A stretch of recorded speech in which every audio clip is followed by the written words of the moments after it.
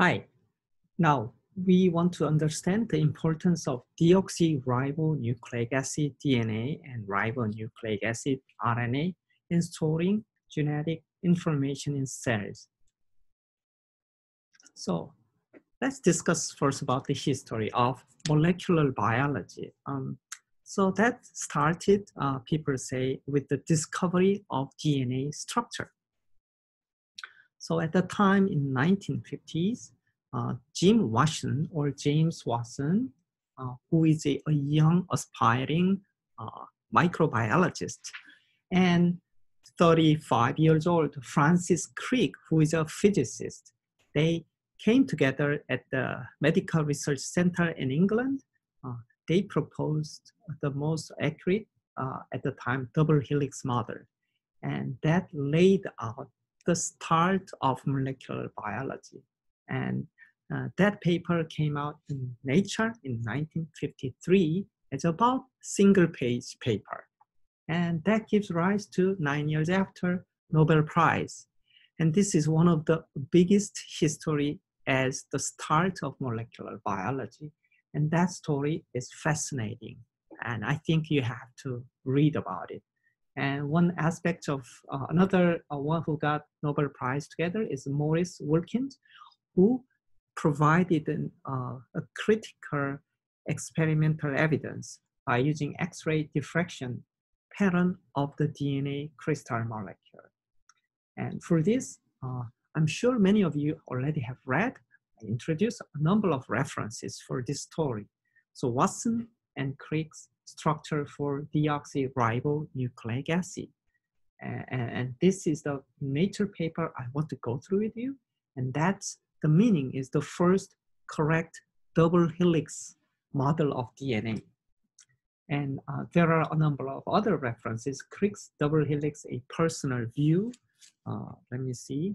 So in Nature, uh, this is an article. And double helix by Jim Watson. I put it here. So double helix is a personal account of the discovery of the structure of DNA, which is uh, very interestingly written.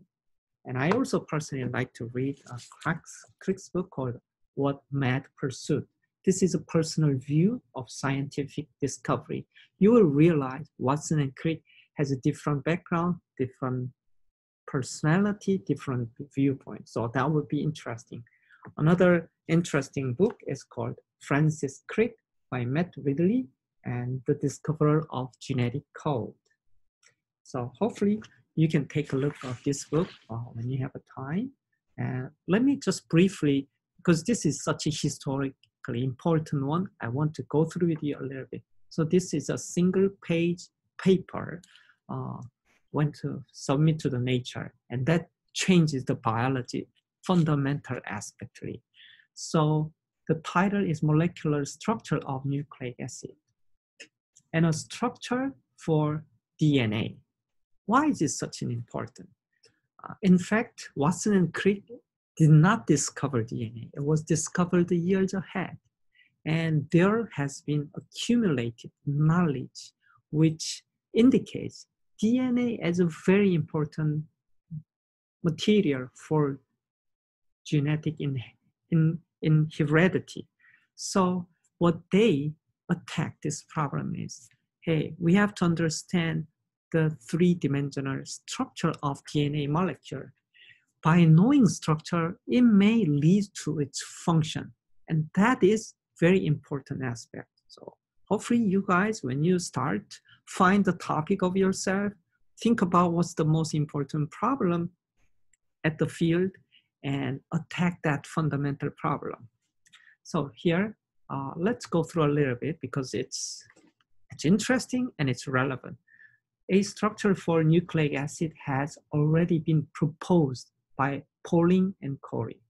Remember Pauling, Linus Pauling, who got you know, twice of Nobel Prize uh, one for the discovery of these protein structures and the other for Nobel Peace Prize.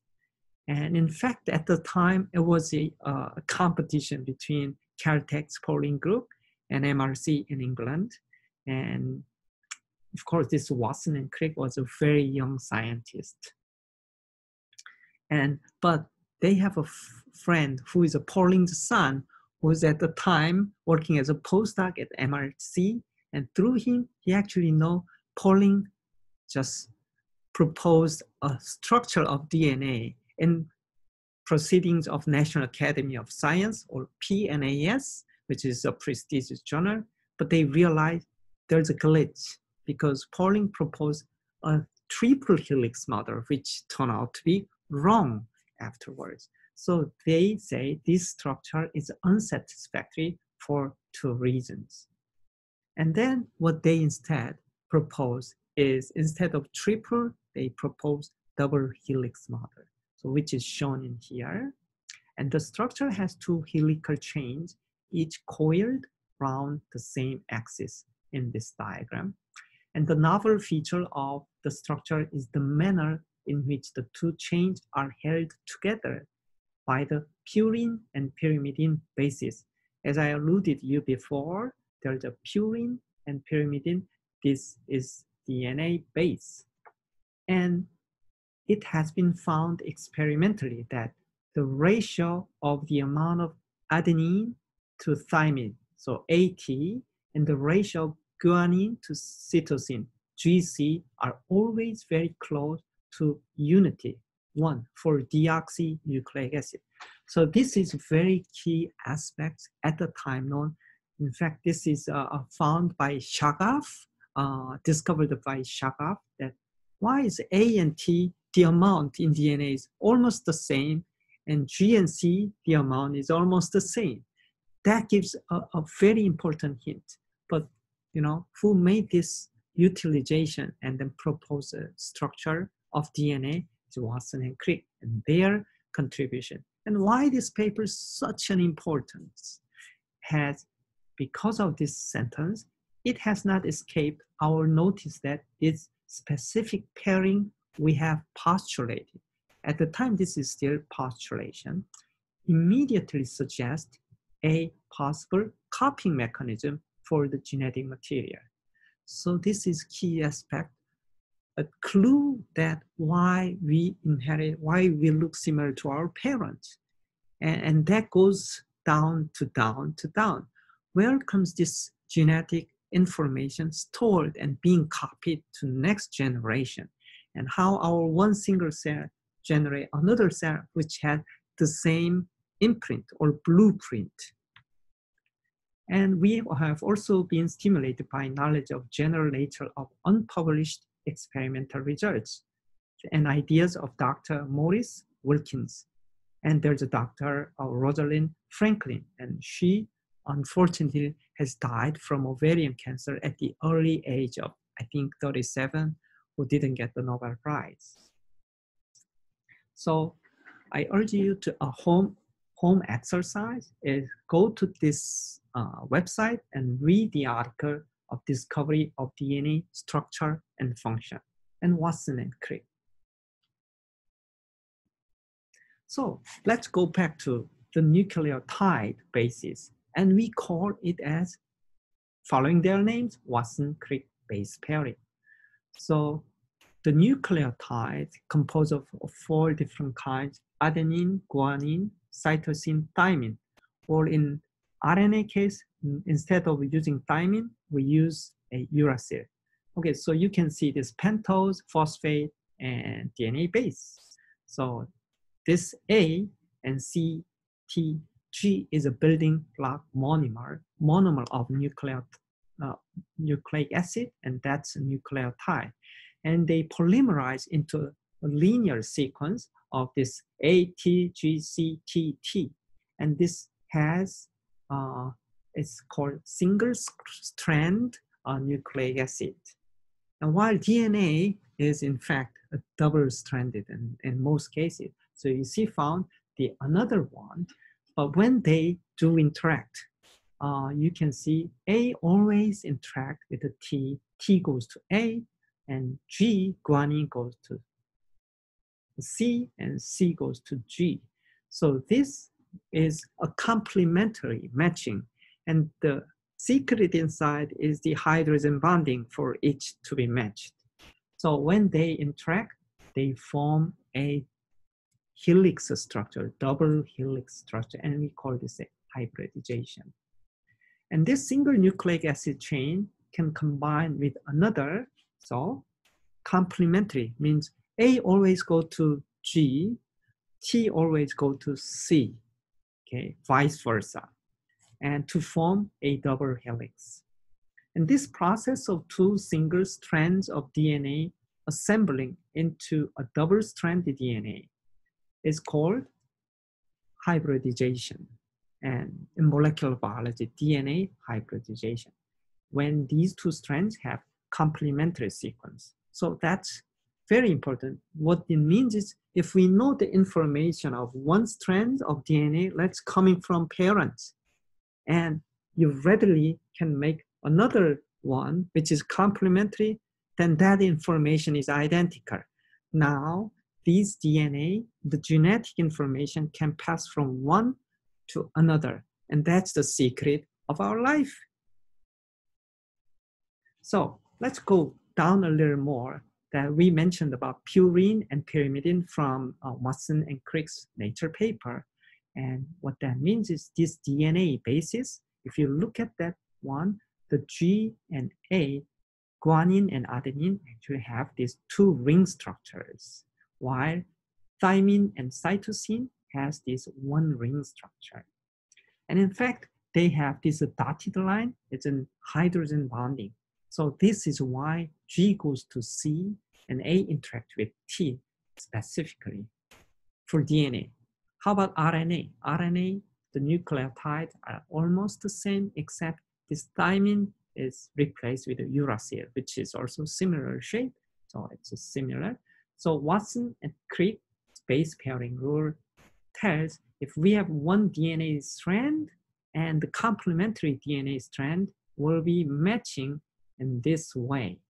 While, you know, for producing a protein, we use DNA as a blueprint to produce RNA and protein. So for that process, we need to have DNA as a template.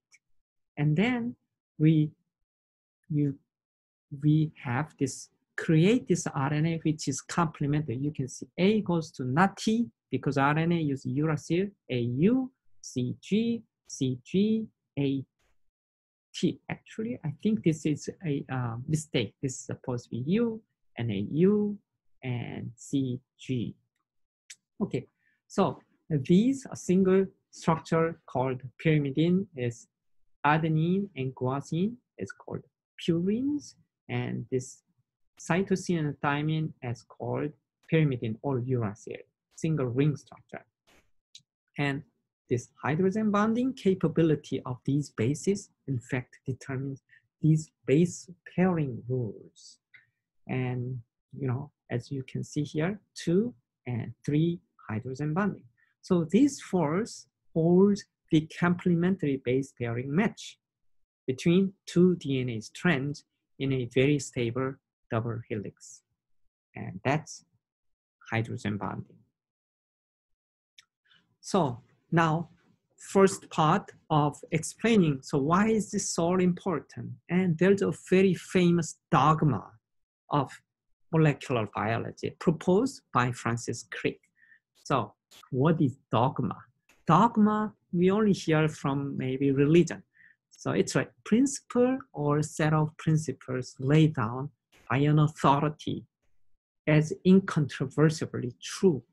So it's a little weird to use dogma here, but you know, Crick used it because he observed this phenomena. And our fundamental question, and in fact, the the molecular machine in our body as a functional unit is protein.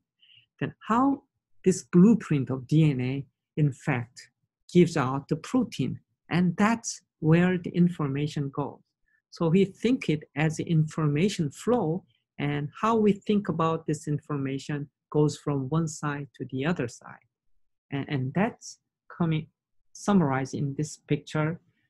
So from DNA, we use this as template and that information we transcribe. It's a copying into the RNA as a one-to-one. So from DNA, we transcribe it into RNA. And this RNA molecule now gives rise to protein.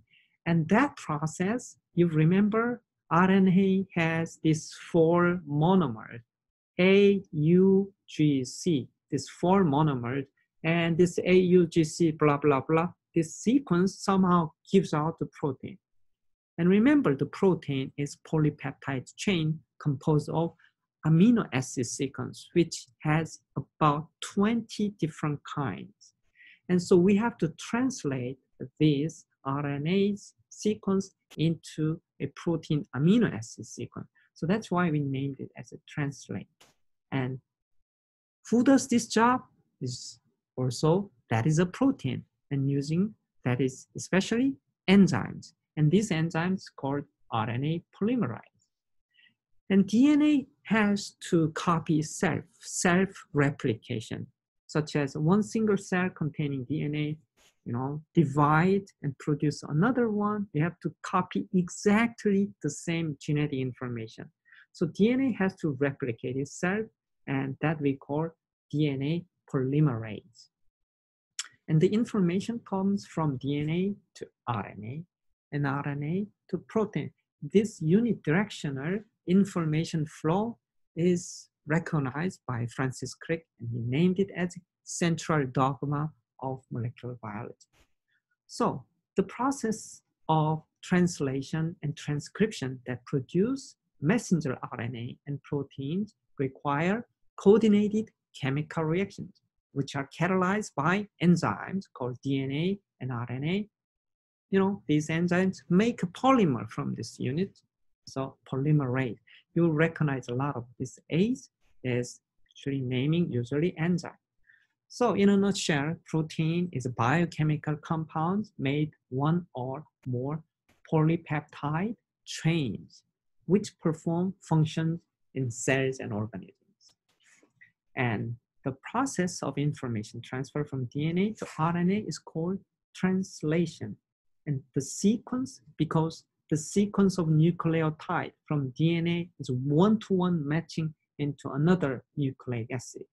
And that of the RNA we call transcription.